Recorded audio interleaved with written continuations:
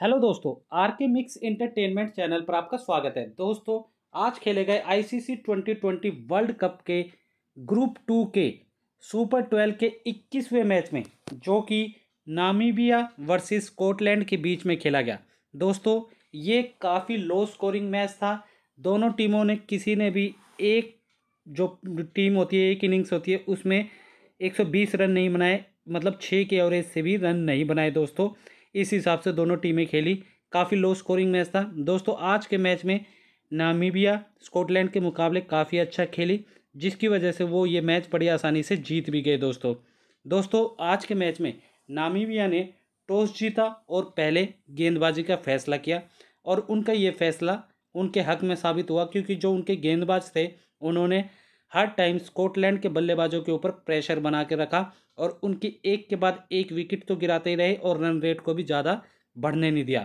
दोस्तों स्कॉटलैंड की टीम ने पहले बल्लेबाजी करते हुए 20 ओवर में आठ विकेट खोकर 109 रन बनाए, जिसके अंदर लिशक ने 27 गेंदों पर धुआधार और ताबड़तोड़ पारी खेलते हुए 44 रन बनाए और क्रिस ग्रीविक्स ने 32 गेंदों पर 25 रन बनाए।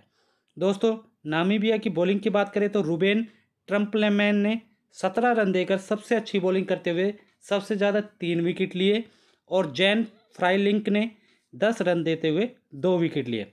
इस प्रकार स्कॉटलैंड की टीम ने नामीबिया के सामने जीत के लिए 110 रनों का टारगेट रखा, जो कि 2020 के लिहाज से काफ़ी कम स्कोर है और दूसरी टीम का जीतना लगभग तय है।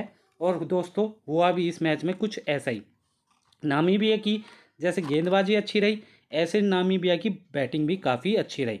नामीबिया की तरफ़ से नामीबिया ने 19.1 ओवर में छः विकेट खोते हुए 115 रन बड़ी आसानी से बना लिए दोस्तों, जिसके अंदर जे जे स्मिथ ने 23 गेंदों पर धुआंधार 32 रन बनाए और क्रेग विलियम्स ने उनतीस गेंदों पर 23 रन बनाए।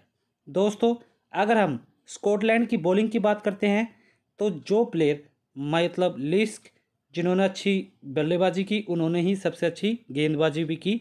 उन्होंने बारह रन देते हुए दो विकेट लिए और ब्रैडले व्हील ने चौदह रन देते हुए एक विकेट लिया।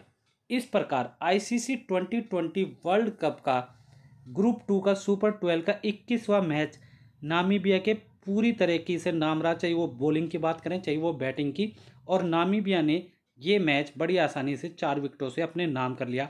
दोस्तों, आपको क्या लगता है कि ये दोनों टीमें क्या इस वर्ल्ड कप में कोई उलट फेर कर सकती हैं? आप हमें कमेंट सेशन में लिख के बताएँ दोस्तों।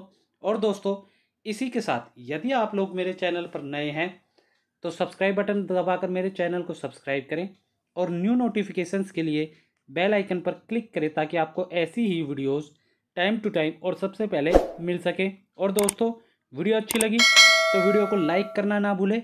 मैक्सिमम से मैक्सिमम हर जगह इसे शेयर करें। कमेंट बॉक्स में दोनों टीमों के प्रति आपकी क्या राय है, हमें कमेंट सेशन में लिख के बताएँ। धन्यवाद दोस्तों। जय हिंद।